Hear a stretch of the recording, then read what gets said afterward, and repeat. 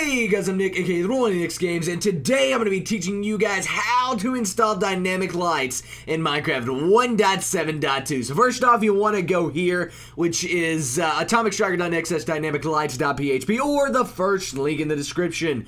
Once you're there, don't click on any ads, and you want to scroll down to the very, very bottom, and you will see download dynamic lights, or dynamic lights downloads. Now, there's a lot of versions here, but we're not interested in anything but 1.7.2. So go ahead and click that, and then it will take you off to AdFly. Once you're here, you're going to have to wait five seconds. If this does not show up, probably because it's an error with the cookies, I would recommend refreshing your browser a few times. If that does not work, check the links in the description. There are two down there that will help you with that, one for Mozilla Firefox and one for Google Chrome.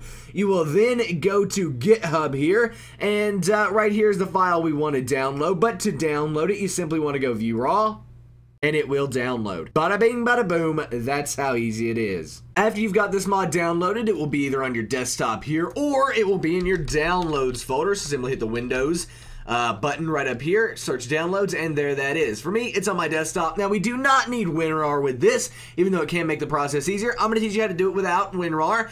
Simply right-click on the uh, books icon, or in your case, what is a zipped folder, you will right click on it and you want to either click extract files or unzip files. Depending on what you're using, WinRAR or not, depends on what it is. You can also share with or open with Windows Explorer and it will open it like this as well and you can pull whatever you want to out of here. However, I would just simply recommend right clicking on it and extracting or unzipping the files and going through the process. After that, right here is your, your folder you're wanting to work with. Now you want to double click on this. It will then open this right here and then double click on mods. After that, right here is what we're looking for, dynamic lights. Go ahead and drag that to your desktop, close out of this folder and delete these original two, just leaving you with this dynamic lights mod. Now we're not done quite yet. We want to go download Minecraft Forge. To do this, simply go to Minecraft forge.net slash form slash index.php or the second link in the description.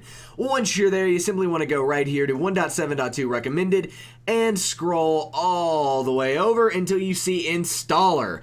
Click that, it will then open up this and then take it to AdFly where you then have to wait 10 seconds, but that's not it. You then actually have to wait another five seconds. So this is always sort of awkward when you do these tutorials because you just kind of have to sit here and ramble. But you then click, click here to continue. Then, like I said, you got to wait another five seconds right up here. And it's quite ridiculous. But two, one, we can finally download the Forge mod. It downloads it right down here. Click keep and minimize your browser. Now you have Forge right here. Simply right click on it and you want to open with Java TM Platform SE Binary. It will then open this right here. You want to install the client, so go ahead and click OK, and it will do all this stuff and then say successfully installed, or it will give you an error and actually tell you how to fix the error. So Forge is really cool in the fact it does help you in that light. Now you can delete that thing we just downloaded, and it's time to officially install Dynamic Lights. Hit Windows key on your keyboard, R, it'll bring up percent app data percent, that's what you want to type in there, percent app data percent in the run program, click OK, and then it will take you to dot roaming. After here, you want to go into dot Minecraft and then go down to mods and drag and drop dynamic lights over there. I will now meet you in Minecraft.